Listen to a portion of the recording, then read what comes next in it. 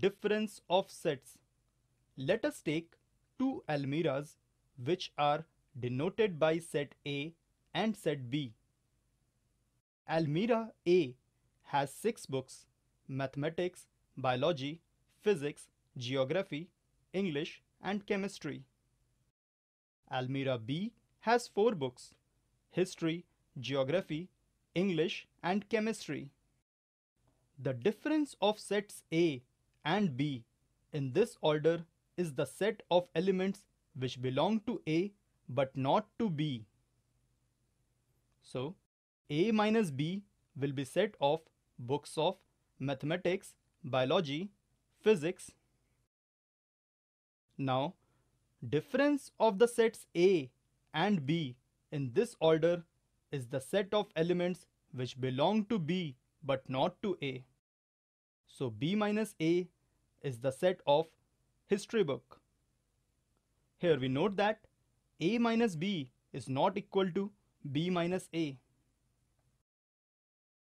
Let us understand the difference of sets with help of an example. Let set V consist of elements A, E, I, O and U and set B consist of elements A, I, K and U.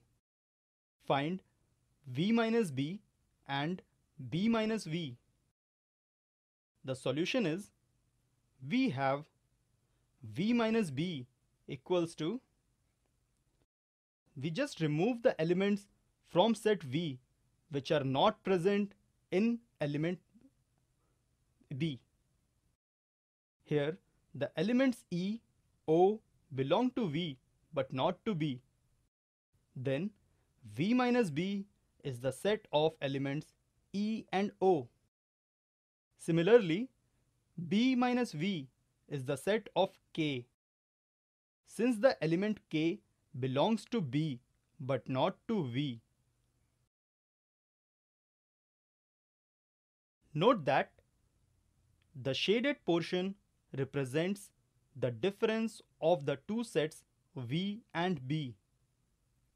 The sets A minus B, A intersection B and B minus A are mutually disjoint sets. That is, the intersection of any of these two sets is a null set.